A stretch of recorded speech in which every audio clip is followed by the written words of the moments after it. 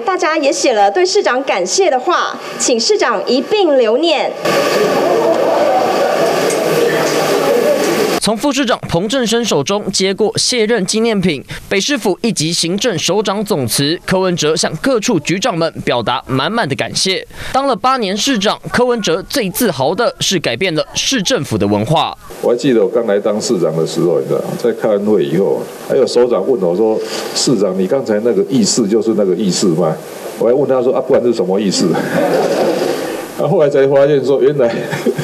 原来以前都开会讲一套，背后下来还在另外交代一套，所以政治诚信是我们一个很大的特色。二十五号就要交棒，蒋万安能不能顺利上手？柯文哲的回应只有一抹微笑。是这样的，很多事情要上任以后才知道，现在现在都是假设性问题。不过我觉得他的 他的团队也不错了，应该应该上任的这种障碍会比较少一点。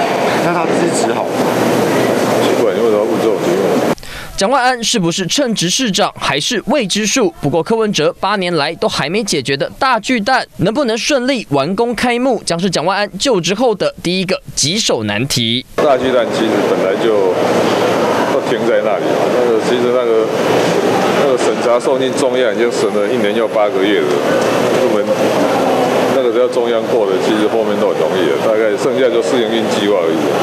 柯文哲再批中央卡大巨蛋，而蒋万也到市政府听取大巨蛋的交接简报，究竟能不能完成选前承诺，在一年内启用大巨蛋？台北市民等着看。换新闻，张焕轩、王一德台北采访报道。请订阅、按赞、分享环宇新闻 YouTube 频道，并开启小铃铛，及时掌握全球时事与最新趋势。